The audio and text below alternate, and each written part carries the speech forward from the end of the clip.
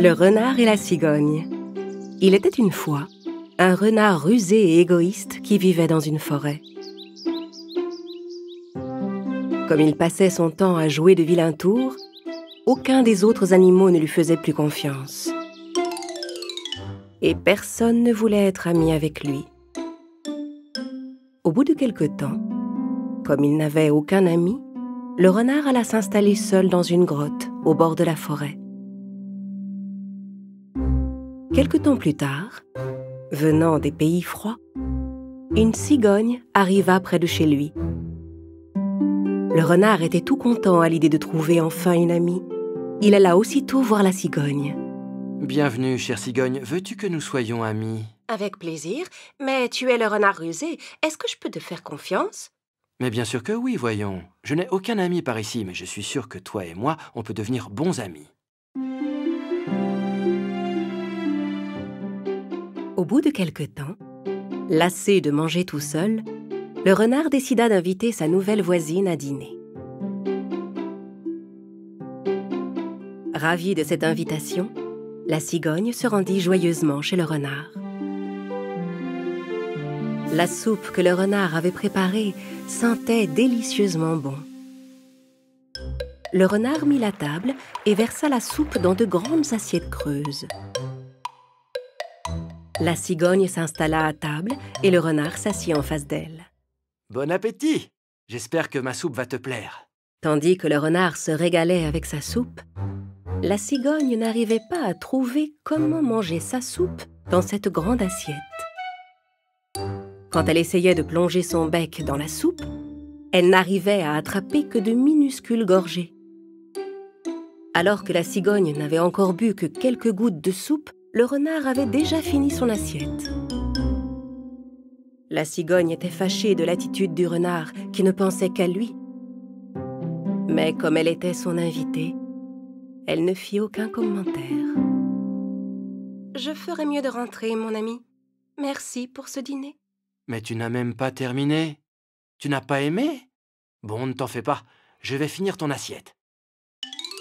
Alors que la cigogne s'en allait, le renard s'empara de son assiette pour finir sa soupe.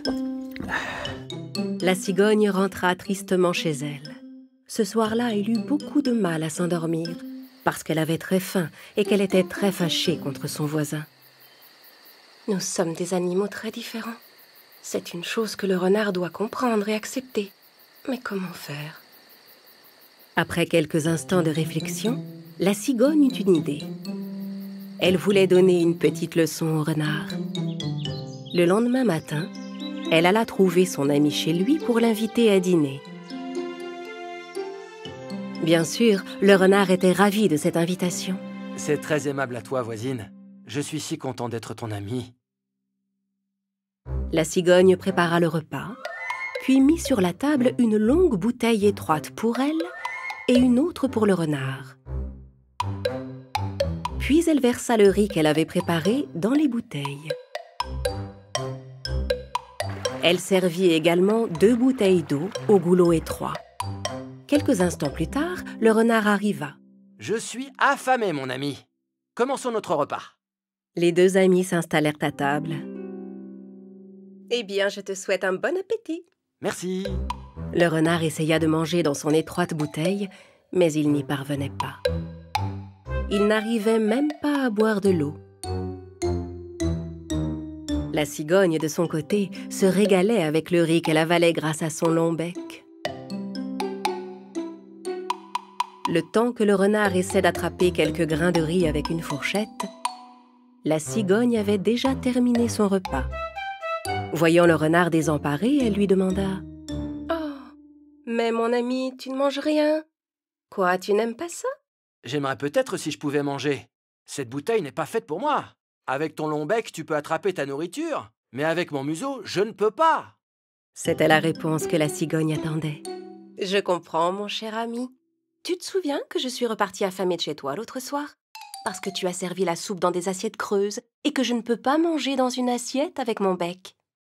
Alors le renard comprit son erreur. Il était désolé d'avoir servi le repas de la cigogne dans une assiette. Je suis vraiment désolé. Je n'ai pas pensé que tu ne pouvais pas manger dans une assiette, pardon. Ce n'est pas grave, cher renard.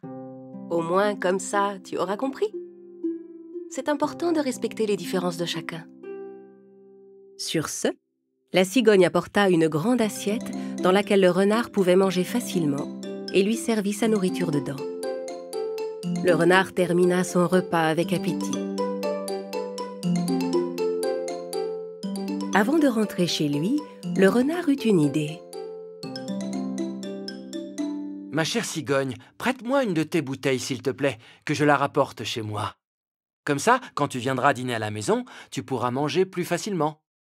Eh bien, on ne t'appelle pas le renard rusé sans raison. Si tu utilises toujours ton esprit pour trouver de bonnes idées comme celle-ci, je suis certaine que tes amis et toi seront beaucoup plus heureux. Le renard et la cigogne éclatèrent de rire.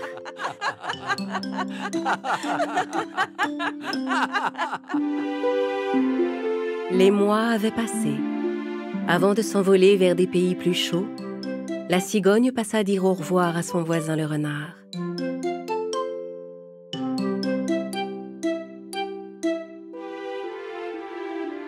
Resté à nouveau seul, le renard retourna dans la forêt.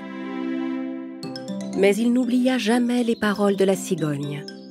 Il ne se montra plus jamais égoïste et devint ami avec tous les autres animaux.